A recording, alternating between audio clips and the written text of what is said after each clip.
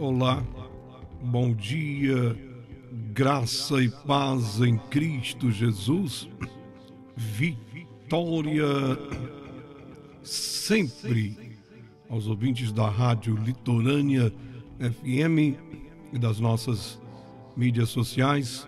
Bem-vindos ao devocional diário 5 minutos com Deus. Em 5 minutos, sua vida pode mudar.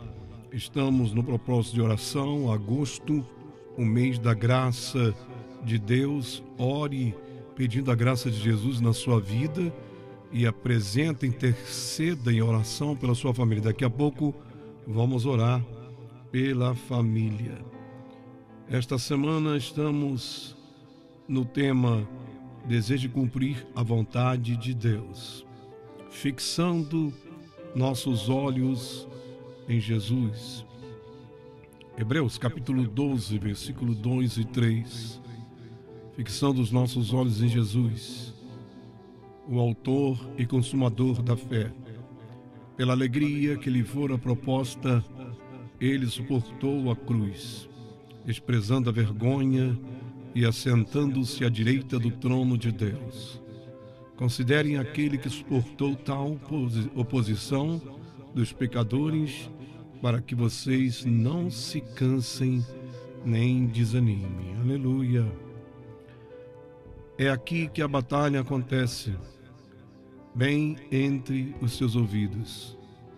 Não é o que acontece lá fora.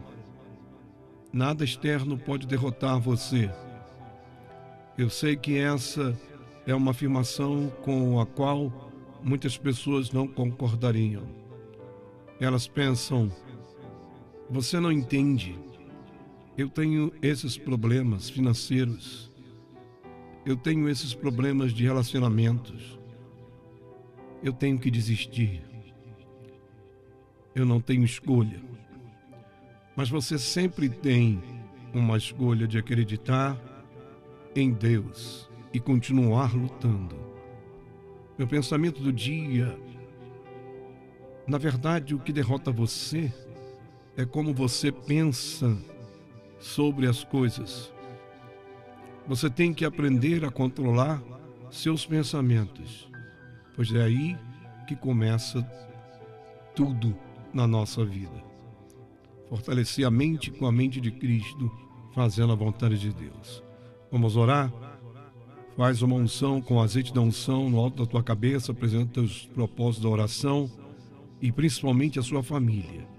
Vamos orar a oração da graça redentora e salvadora. Aleluia.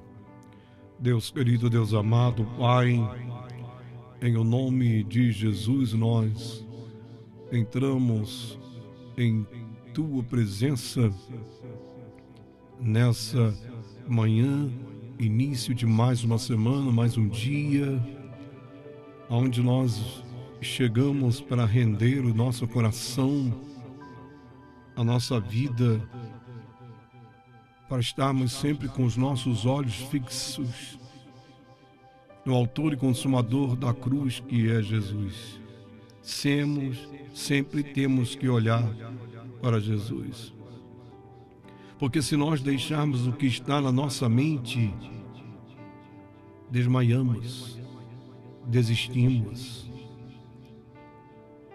Nós começamos a seguir a vontade de Deus, mas nos deparamos com algo, com problemas que parecem impossíveis. Mas eu declaro nessa manhã que hoje estará tudo da maneira como pensamos, determinará se experimentaremos a vitória ou desistiremos. Eu declaro que o pensamento seja fortalecido pela palavra de Deus e a unção toda poderosa do Espírito Santo para que o nosso pensamento seja sempre de fé. Eu declaro a cura física, espiritual e emocional e que todos sejam libertos de todo mal nessa manhã. Abençoa essa semana, uma semana de vitórias. Nós agora apresentamos a nossa família diante da tua graça, Senhor. Intercedemos por eles.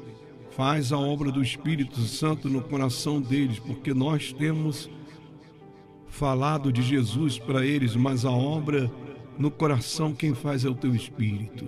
Opera, Deus. Opera a obra redentora. Opera a obra salvadora neles. Salva nossas famílias. Oramos, agradecemos em nome de Jesus. Amém. Amém. Graças a Deus. Emuná, tenha fé, pois Deus é bom em todo o tempo. Todo o tempo Deus é bom. Os ouvintes da Rádio Litorânea FM, todos os nossos ouvintes das redes sociais, convidamos você para esse domingo, dia 25 ao meio-dia. Estaremos com o nosso culto em português, que está sendo uma bênção. Estarei pregando. Quanto mais desejamos cumprir a vontade de Deus, mais nos parecemos a Jesus. Que Deus abençoe você.